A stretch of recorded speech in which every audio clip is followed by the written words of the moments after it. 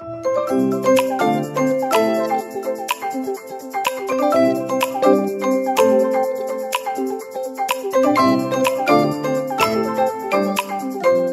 everybody, welcome back to my channel and welcome if you're new and if you're new I would love it if you would stick around and subscribe. And with that being said, in today's video I am going to be doing a haul of all the books that I've gotten recently and so in this haul we'll have some gifts and my January book of the month books because I got a few and what I got from the book outlet boxing day sale so yeah, let's get into it. I'm excited. So first I have my Christmas gifts. I only have three on this list because I got a lot of like other stuff for Christmas. One of the things being this wonderful ring light I'm using right now. But anyways, the first book I got for Christmas is a little bit of a chunker. Well, it's not even like, well, it's just heavy. So that book is Harry Potter and the Goblet of Fire by J.K. Rowling or Rowling, I'm not sure.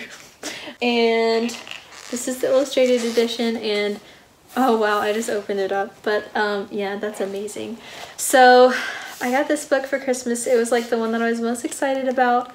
And yeah, I flipped through the whole thing on Christmas morning while we were all opening presents and yeah, I'm super excited that I got this. The next book that I got for Christmas is Keeper of the Lost Cities Legacy, which is the Barnes & Noble exclusive edition and it's a signed copy, which um, I think my parents were like on a trip or something and, or my dad maybe, and they were at a bookstore and my dad saw this and he, he remembered that I loved this series so he wanted to get it for me and I just thought that was like super thoughtful of him.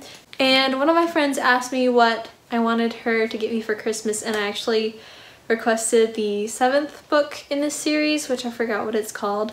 But I have literally all the other ones right here. And then the eighth one, which is just came out this past fall. And so I only need that one left, but we haven't seen each other since actually that time, which was probably mid-December. So so yeah, I don't actually have it to hold up here yet. And next, my parents actually got me a couple of books for getting all A's in my first semester of grad school, which was super nice of them. And the first one of these books is Blood Heir by Emilie Wenzel, which I'm not sure if that's how you say that name, but yeah. Uh, and the I was actually in Kroger with my dad and my brother and I saw these two books that and I was just like I want these books. And so my dad bought them and yeah. So I really I'm not even sure what most of these are about because I haven't read them but I really like the cover of this one because it looks like cold and dark. The other book that I got that day was Children of Virtue and Vengeance by Tomi Adeyemi which I read in, I read the first one of these last, no not last year, 2018. And this came out at the end of the end of the year in 2019. So yeah, I hadn't gotten it yet. So I'm excited to have the sequel. I'm not quite sure when I'm gonna get to it, but I'm still excited about it and like this cover is so pretty. Like that's just amazing. So next I have my book of the month books, which I have four with one YA and then three adult. So the one YA one that I have is Woven in Moonlight by Isabel Ibanez. And this one is, it's actually in my most anticipated releases of 2020. So if you want to see my other anticipated releases, you should go watch that video and I will put it in the cards somewhere. But yeah, this has like Bolivian folklore or something in it, so that was really exciting to me. And also this cover is just beautiful, like so pretty. Like I just love pretty covers. Next up, um, I have Recursion by Blake Crouch. And I have no idea what this book is about, but I read Dark Matter by Blake Crouch in 2019. I think it's to be on my best books of 2019 video, which I still need to film.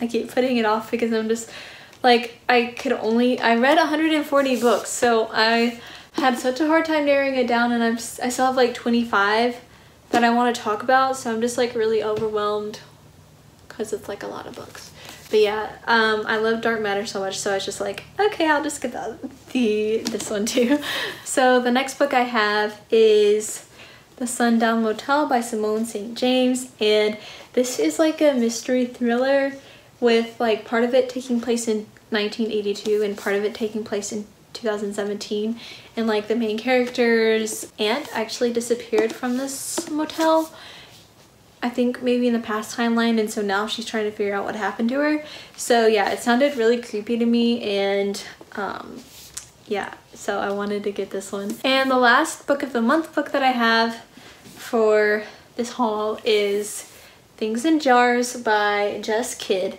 which this book just sounded amazing. Also love the cover of this one because it's all blue and flowers. This book is like, from what I could tell, it's like a Victorian era fantasy mystery. And also there's like mermaids or something because like, look at this. It's a mermaid. And um, I think I mentioned this in a previous video, but like mermaids and like water related things really get me interested in books so yeah I knew I had to get this one too and so now we have my book outlet portion which is going to be the longest portion of this video because I have quite a few so the first one is the Hazel Wood by Melissa Albert. Like the release of this was really talked about, I think probably in January of 2018, I want to say and I just haven't ever read it. And so they had the paperback on Book Outlet and I was just like, you know what? It's time because for some reason I entered the giveaway for the sequel on Goodreads. I don't know why since I haven't read this one. I think maybe it was like 3 in the morning or something. But I won that giveaway so now I have the first and second book so I can read them back to back if I want to. Next up I have Book of a Thousand Days by Shannon Hale and I have her whole other series Goose Girl which is on the back here. I have this like all four of these books which it's kind of hard to see but yeah and this one sounded interesting too. I feel like I keep looking funny whatever. The next book that I have is Small Spaces by Katherine Arden and she's actually the author of The Bear and the Nightingale which I literally just put two and two together saying her name out loud so you know what better late than never right? So this one I think it's like a middle grade mystery type book. Yeah so the main character Ollie finds a woman throwing like a book in the water and so or she's threatening to and then she wants she doesn't want that to happen so she steals the book. Look at the little scarecrow which there's a glare but look at the little scarecrow. It looks really cute and also creepy so if I get the Halloween feel early in the year like sometimes you know like you're just in the mood for like Halloween but it's like April maybe that'll happen or maybe I'll save it for Halloween. We'll see what happens. The next book that I have is The Night Olivia Fell by Christina McDonald. This one, like I saw it on a Goodreads giveaway and I didn't win that one. So when I saw it on Book Outlet, I was just like, you know what? I'm still actually really interested in this. Main character's teenage daughter fell off a bridge and she's brain dead, but she's also pregnant. So the police are like calling the calling her falling like an accident, but the main character doesn't believe that it's an accident. I'm really curious to see if I'll like this. There's like, I feel like there's probably a 50-50 chance, but it was also like $3. So the next two books that I have kind of go together. So they are The Bane Chronicles by Cassandra Clare and Tales of the Shadowhunter Academy by Cassandra Clare. And I have all of her like, oh, you can't see them, but they're, they're these books right here Yeah. those are all the Cassandra Clare books. But I don't have any of her short story collections and I've been like having these in my Amazon cart for ages and then they had the hardcovers on book outlet for like a few dollars and I was just like okay yeah that's it's time. So I finally have these two. I'm really excited. I may um, try to read like one story a week or, or like a month or something. I don't know. Um, because I don't really like to sit down and just read short story collections straight through because like the switching between the stories kind of like I don't like but like if I'm reading just one story and like putting it aside then I like it better so yeah that's probably what I will do for these two. So the next book that I have is Grey Sister by Mark Lawrence which I got first book in this trilogy, Red Sister from Book Outlet like last year. So now I need to read the series. I've heard it be compared to like Nevernight before and I love that series. So, oh I should probably not be reading that because it's a sequel. So yeah, I just, I think I'll like this series. So might as well get the hardcovers of them when they were like really cheap and since it was during a sale like they were extra cheap. The next book oh.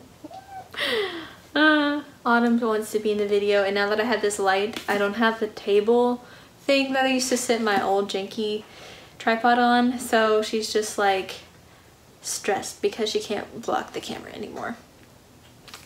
But anyways the next book that I have is Arch Enemies by Marissa Meyer, which I don't even have Renegades yet, but it's another one that I was just like, I feel like I'm really gonna like this series and it's like a really cheap hardcover in really good condition. So I was just like, you know what?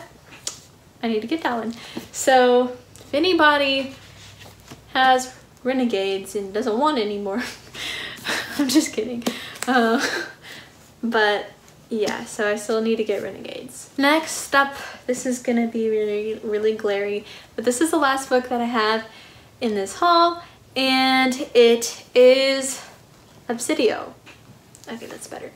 It is Obsidio by Jay Kristoff and Amie Kaufman, and I'm trying not to get the light in there because it's shiny. And yeah, so Obsidio is a sci-fi type book. Well, Illuminae is. All I really know is like it's a space sci-fi and there's this like corporation and like a plague or something and the two main characters just broke up and they have to help each other or something. So now I have Illuminae and Obsidio, but I still don't have Gemina yet, so maybe once I start reading Illuminae, I can order Gemina or something. I don't know. We'll see. Maybe it'll show up on Book Outlet because, uh, or Thrift Books or something because I got Illuminae from Thrift Books and I got Obsidio from Book Outlet. So, so who knows, kitty? Now she's on the kitchen table, like really confused. Anyways, that's all that I have for this haul. Let me know which book you think I should prioritize. If you've read any of these books, let me know what you thought about them or if you're planning on reading any of these books too so that way maybe we could talk about them if we both read them in a timely fashion.